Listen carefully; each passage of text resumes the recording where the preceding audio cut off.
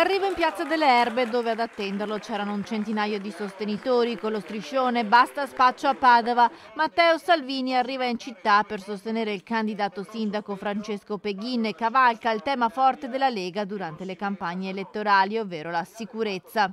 Padova è una città straordinaria che non si merita di essere la capitale italiana delle denunce per spaccio di droga.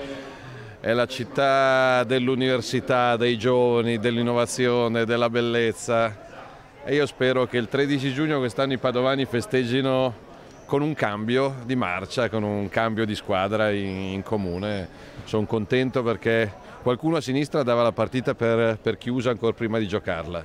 Invece passano i giorni, cresce il consenso per la Lega per Peghin. Il segretario della Lega risponde anche al prefetto di Padova, Raffaele Grassi, che in occasione delle celebrazioni del 2 giugno aveva detto che la città è sicura. Lasciamolo decidere ai padovani.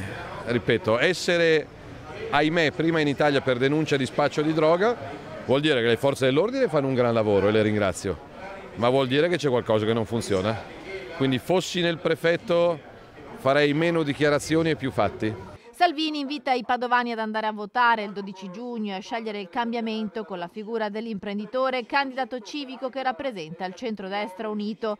Dopo aver criticato la parata di politici come Enrico Letta e Giuseppe Conte che nei giorni scorsi si erano visti a Padova per sostenere il sindaco uscente Sergio Giordani, è lo stesso Peghin che si è sempre professato un candidato civico ad accogliere in città i leader del centrodestra. Ieri sera Matteo Salvini, prossima settimana Giorgia Meloni. La differenza tra me e il sindaco uscente è che io sono un candidato civico supportato da un centrodestra compatto. Il sindaco uscente come primo atto che ha fatto quando è stato eletto cinque anni fa è stato quello di nominare come portavoce il segretario provinciale del PD, quindi non si può più definire un civico una persona che ha nominato come portavoce e stratega il segretario del PD.